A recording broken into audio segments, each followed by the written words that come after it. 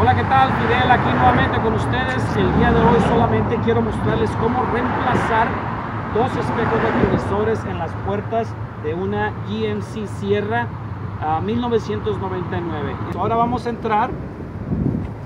Lo único que tenemos que hacer es remover este uh, triangulito de este lado para que nos muestre los tornillos. Ok, entonces con un desarmadorcito prácticamente de esta manera removemos, jalamos, ponemos un poco de presión y sale. Después vamos a, tiene una esponjita, esta es nada más como para protección, la sacamos y ahora vamos a usar un dado de 10 milímetros y vamos a remover estos tres tuercas que se encuentran en este lado.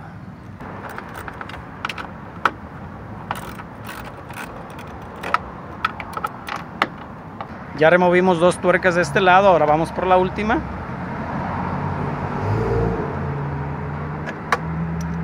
Cuidadosamente vamos a jalar, una vez removemos las tuercas.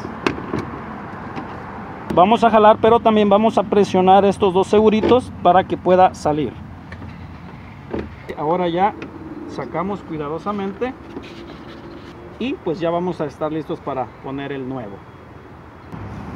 Bueno, ya tenemos aquí, ya abrimos el nuevo que compramos. Vamos a mirar que sea exactamente el mismo.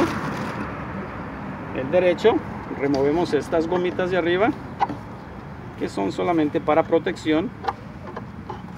Ok, ahora vamos a iniciar cuidadosamente de esta manera ok entonces con una mano sujetamos el espejo de este lado con la otra metemos lo que es ya la tuerca vamos a meter las tres ahora ya solamente vamos a apretar cuidadosamente no apriete uno completamente, vaya apretando los tres al mismo tiempo. continuamos. Recuerde, con una mano presione para que quede bien sellado alrededor. Ahora solamente estamos ajustando. Seguimos ajustando. Apriete lo suficiente para que no vaya a haber... Para que el agua no se vaya a meter cuando llueva o usted lave el carro. Ya una vez está lo suficiente ajustado, bueno, ahí paramos. Bueno, parece que ahí quedó. Está macizo.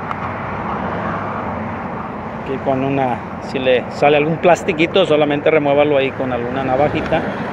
Lo último, ahora recuerde la esponjita nuevamente vamos a introducirla dentro de esta manera y pues vamos a ponerla también la otra parte que le habíamos retirado